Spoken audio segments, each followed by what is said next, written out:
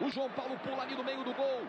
Cobrança autorizada. Lá vem Rafael Veiga. Pode ser o primeiro gol do clássico. Ele vem de pé esquerdo. Gol!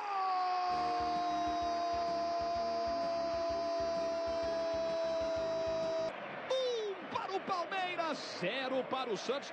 Praz, João Paulo até acerta o canto, mas com essa potência aí não tem jeito, né, Praz? Não, o Veiga tem muita qualidade, né? Ele, ele tem muita varia, variedade de repertório, né? Ele bate, já bateu no meio,